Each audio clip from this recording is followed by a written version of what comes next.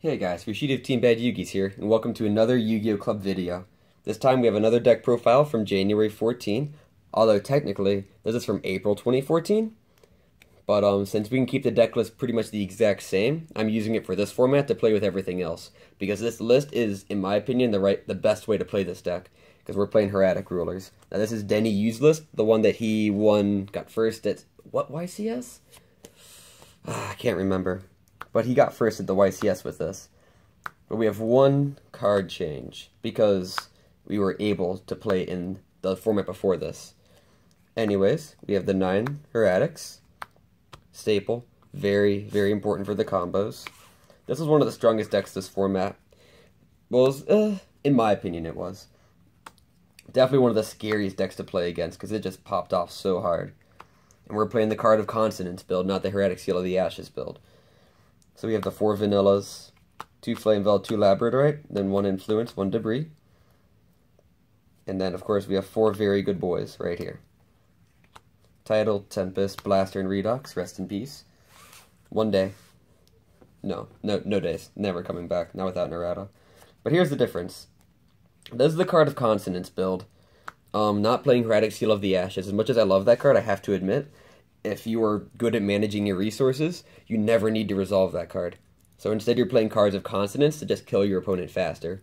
It turns the worst cards in your hands into the into better cards. So swear by it. But this is the difference.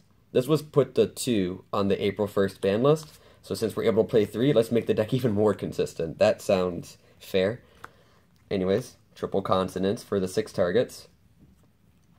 Uh, 3 upstarts and then two Dragon Shrine, because you don't really have the time to be resolving more of these, and opening up two in hand is very unfortunate. So we're trying to avoid it, while still um, playing two, so that we can open it up enough to actually see it.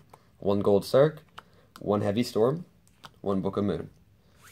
Then for the traps, we have Triple Reckless, uh, Double Skill Drain, one Warning, and then to make room for the other consonance, or the other, the other the other search spell, had to cut the black horn to 1. I still wish this was, this was it too.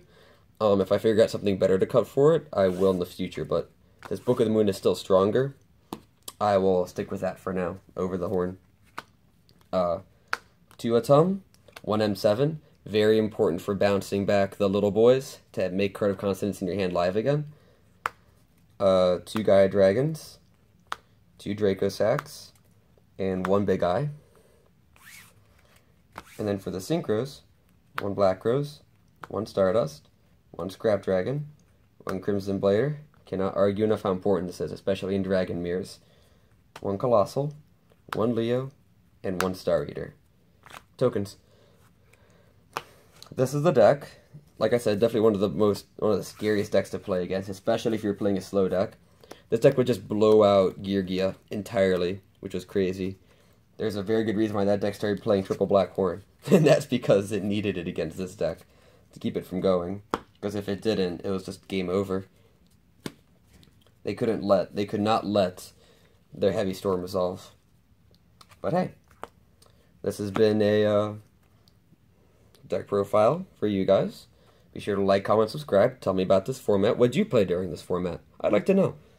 I like seeing this crazy decks. Like, you know, may maybe Maybe I have Doug Zeeff watching this video right now, and he can tell me about spirits. Or maybe you're that guy who played uh, Harold and got second at European uh, Nationals that year. You insane, insane person. You inspired me, sir. Maybe you're playing some sort of junk synchron deck. Maybe you're like, um, I don't know. Who are you? But anyways, like, like, comment, subscribe. Check the, check, check the description box for any supportive links, other decks, other profiles, and of course the duels themselves. This has been Fushida of Team Bad Yugis. Thank you for watching this Yu-Gi-Oh! Club video, and resolve, uh, I'd say let's finish this off by resolving Wingbeat of Giant Dragon for game. Yeah.